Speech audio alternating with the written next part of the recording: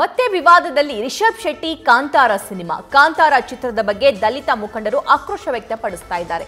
ಪರಿಶಿಷ್ಟ ಜಾತಿಗೆ ಸೇರಿದ ಸಮುದಾಯವನ್ನ ಕೀಳಾಗಿ ಚಿತ್ರೀಕರಣ ಮಾಡಲಾಗಿದೆ.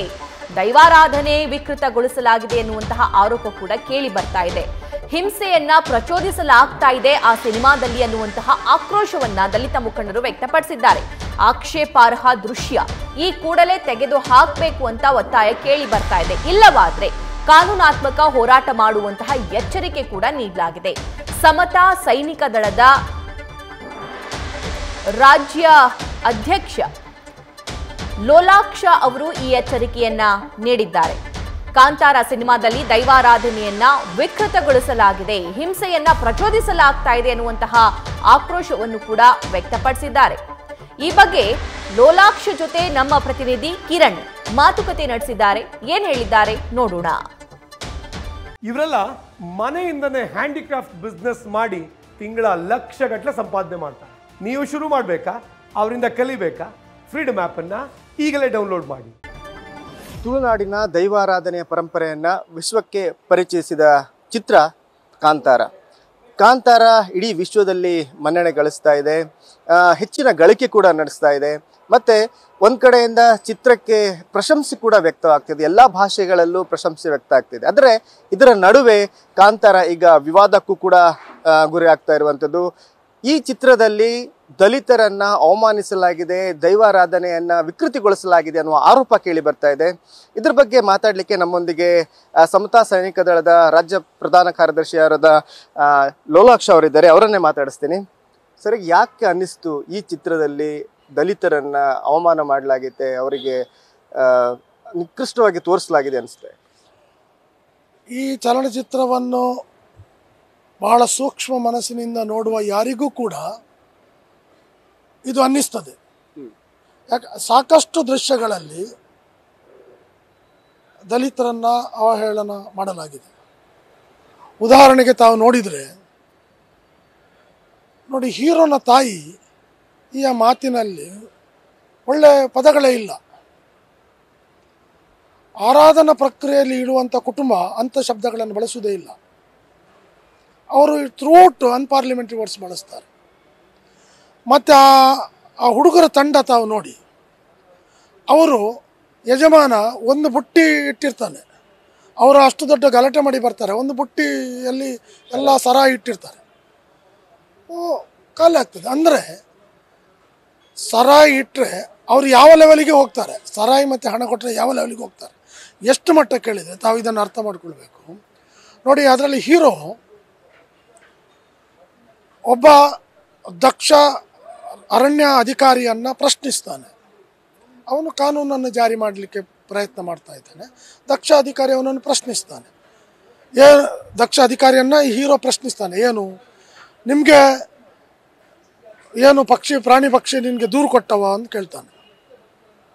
ಅಂದರೆ ಅವನು ಒಬ್ಬ ಅಧಿಕಾರಿ ತನ್ನ ಅಧಿಕಾರ ಚಲಾಯಿಸಲಿಕ್ಕೆ ಒಂದು ದೂರು ಅಗತ್ಯ ಇತ್ತು ಎಂಬ ಒಂದು ಪ್ರಜ್ಞೆ ಆ ಹೀರೋನಲ್ಲಿ ಇತ್ತು. ಅಂಥ ಪ್ರಜ್ಞಾವಂತ ಹೀರೋ, ಒಬ್ಬ ಮಾಲೀಕ ಯಾವುದೋ ಹೆಣ್ಮಗಳ ಕಡೆ ರಾತ್ರಿ ಹೋಗ್ತಾನೆ. ಯಾಕಂದರೆ ಅಲ್ಲಿ ಮಾಲೀಕ ಬಿಟ್ಟರೆ ಮತ್ತೆಲ್ಲರೂ ದುರ್ಬಲ ವರ್ಗದ ಜನರೇ ಇರೋದು. ಇವನು ಅಲ್ಲಿ ಹೋಗಿ ಕಾವಲು ಕಾಯ್ತಾನೆ. ಅವನು ಕಾಲಿ ಕಾವಲು ಕಾ, ಅವನು ಹೋಗಿ ಒಂದು ಗೌರವಾನ್ವಿತವಾಗಿ ಒಂದು ಹುಡುಗಿ ಜೊತೆ ಇದು ಇರೋದು ಬೇರೆ ವಿಷಯ. ಅವನು ಹೇಳೋ ಭಾಷೆ ಅಲ್ಲಿ ಬಳಸೋ ಭಾಷೆ ನೋಡಿ ಆ ಹೆಣ್ಮಗಳ ಜೊತೆ. ಯಾರೋ ಆ ಮಾಲೀಕ. ಹಾಗೆ ಬಳಸುವಾಗಲೂ ಕೂಡ ಅಂದರೆ ಆ ಹೆಣ್ಣನ್ನು ಕೂಡ ಯಾವ ರೀತಿಯಲ್ಲಿ, ಅಲ್ಲಿ ಚಿತ್ರಿಸಲಾಗ್ತದೆ. ಮತ್ತು ಅದಕ್ಕೆ ಅಂಥ ಒಂದು, ನಾವು ಆ ಶಬ್ದವನ್ನು ನಾನು ಬಳಸ್ತಾ ಇದ್ದೇನೆ, ಅನ- ಅನಿವಾರ್ಯವಾಗಿ. ಅನೈತಿಕ ಸಂಬಂಧವನ್ನು ಅದಕ್ಕೆ ಇವನು ಗಾರ್ಡ್ ಇರ್ತಾನೆ, ಆ ಹೀರೋ.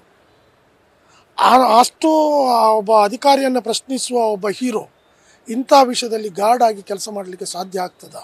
ಅವನಿಗಷ್ಟು ಅವೇರ್ನೆಸ್ ಇಲ್ವೋ? ಒಬ್ಬ ಮಾಲೀಕನೇ ಹೋಗಿ ಮಾಡೋದು ಅದು ಬೇರೆ ವಿಷಯ. ಇವನು ಗಾರ್ಡ್ ಅಂದರೆ ಹೆಣ್ಣು ಹಣ ಮತ್ತು ಹೆಂಡ ಕೊಟ್ಟರೆ ಈ ದಲಿತರು ಏನು ಬೇಕಾದರೂ ಮಾಡ್ತಾರೆ ಎಂಬ ಒಂದು ಸ್ಥಿತಿಯಲ್ಲಿ ಆ ಚಿತ್ರವನ್ನು ತೋರಿಸಲಾಗಿದೆ. ಮತ್ತು ನೋಡಿ ಅಂತ ತುಂಬ ಅಂಶವಿವೆ ನಾನು ಹೇಳಿದ್ದು ತಮಗೆ. ಅಲ್ಲ ಇನ್ನೊಂದು ಈ ಚಿತ್ರದಲ್ಲಿ ದಲಿತರನ್ನು ಅವಮಾನ ಮಾಡಲಾಗಿದೆ ಅಂತ ನೀವು ಒಂದು ಕಡೆ ಆರೋಪ ಸರಿ ಅದು ನಿಮ್ಮ ಅಭಿಪ್ರಾಯ. ದೈವಾರಾಧನೆಯನ್ನು ವಿಕೃತಿಯಾಗಿ ತೋರಿಸಲಾಗಿದೆ ಅಂತ ಆರೋಪ ಇದೆ ಮಾಡಿದ್ರಿ. ಹೇಗೆ ಈಗ ತಾವು ಇಂಟ್ರೊಡಕ್ಷನ್ ಕೊಡುವಾಗ ದೈವಾರಾಧನೆಯನ್ನು ವಿಶ್ವಕ್ಕೆ ತೋರಿಸಲಾಗಿದೆ ಎಂದು ಹೇಳಿದ್ದೀರಿ ಅದು ದೈವಾರಾಧನೆ ಅಲ್ಲ ಅದು.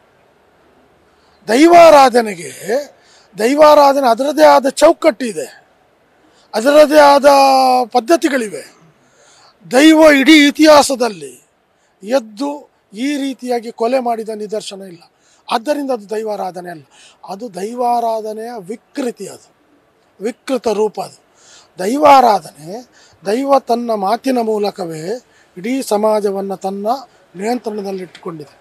ಅದು ಎಲ್ಲರ ಹೃದಯದಲ್ಲಿ ನೆಲೆ ನಿಂತು ಅವರನ್ನು ಆಳಿದೆ. ಅವ ಆ ದೈವದ ನಂಬಿಕೆಯಲ್ಲೇ ಜನ ತನ್ನ ಶಕ್ತಿಯನ್ನು ವೃದ್ಧಿಸಿಕೊಂಡಿದ್ದಾರೆ. ಈ ಅಂಶಗಳು ನಮಗೆ ಗೊತ್ತಿರಬೇಕು. ದೈವ ಯಾವುದೋ ಒಬ್ಬ ಫಿಲ್ಮ್ ಹೀರೋ ಥರ ಯಾವುದೋ ಒಬ್ಬ ರೌಡಿ ಥರ ಯಾವುದೋ ಒಂದು ಅಂಡರ್ವರ್ಲ್ಡ್ನೋ ಬಂದ ಹಾಗೆ ಕತ್ತಿ ಹಿಡಿದು ಕಡಿಯುವುದಿಲ್ಲ. ದೈವ ಅಂಥದ್ದು ಮಾಡುವುದೇ ಇಲ್ಲ. ಅದು ವಿಕೃತಿ. ಅದು ದೈವಾರಾಧನೆ ಅಲ್ಲ.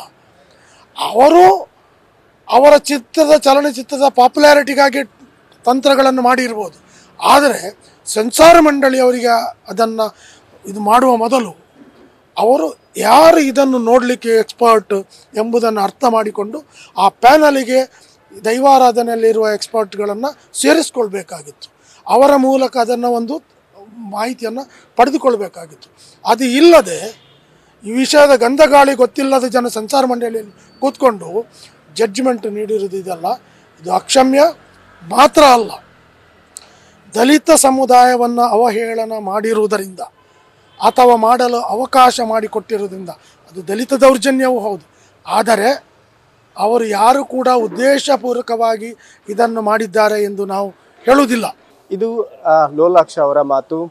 ಒಂದು ಕಡೆಯಿಂದ ಕಾಂತಾರ ಸಕ್ಸಸ್ಫುಲ್ ಆಗಿ ಥಿಯೇಟರ್ಗಳಲ್ಲಿ ಈಗ ಓಡ್ತಾ ಇರುವಂಥದ್ದು. ಇನ್ನೊಂದು ಕಡೆ ವಿವಾದಕ್ಕೂ ಗುರಿ ಆಗ್ತಾ ಇದೆ. ಆ, ಲೋಲಾಕ್ಷ ಅವ್ರು ಹೇಳ್ತಾ ಇರೋದು ಅದರಲ್ಲಿ ದಲಿತ ಅವಮಾನ ದಲಿತರನ್ನ ಅವಮಾನ ಮಾಡಿದಂತಹ ಚಿತ್ರದ ಈ ತುಣುಕುಗಳನ್ನು ಕಟ್ ಮಾಡಬೇಕು. ಅದರ ಅದರ ವಿರುದ್ಧ ಕಾನೂನಾತ್ಮಕ ಕ್ರಮ ಕೈಗೊಳ್ಬೇಕು. ಒಂದು ವೇಳೆ ಸರ್ಕಾರ ಅಥವಾ ಜಿಲ್ಲಾಡಳಿತ ಕಾನೂನಾತ್ಮಕ ಕ್ರಮ ಕೈಗೊಳ್ಳಿಲ್ಲ ಅಂತ ಹೇಳಿದ್ರೆ ಕಾನೂನು ನಾವೇ ಕಾನೂನು ಹೋರಾಟ ಮಾಡ್ತೀವಿ ಅನ್ನೋ ಎಚ್ಚರಿಕೆಯನ್ನು ಕೂಡ ಕೊಟ್ಟಿದ್ದಾರೆ. ಕ್ಯಾಮರಾಮನ್ ಪ್ರಶಾಂತ್ ಅವರೊಂದಿಗೆ ಕಿರಣ್ ಯುಸಿರ್ಸಿಕರ್ ನ್ಯೂಸ್ ಫಸ್ಟ್ ಮಂಗಳೂರು.